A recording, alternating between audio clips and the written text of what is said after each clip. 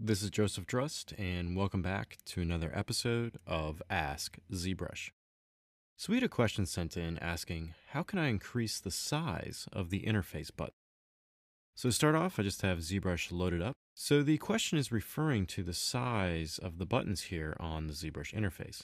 And let's say that these buttons are a little bit too small on your screen and you want to increase them. How can you go by doing that? So to do this, we just need to navigate up here to the Preferences tab, and then we need to open up the Interface area here, and then locate UI. And under the UI area here, you have a button size slider. So if your buttons inside of ZBrush are a little bit too small, you can come through here and increase the slider. So let's go up to say 58. And then after you set that slider, it's going to tell you that your UI will be adjusted the next time you start ZBrush. So I'm just going to close ZBrush and restart. Now, after ZBrush restarts, you will notice that the button sizes inside of ZBrush have increased. So everything here is now larger.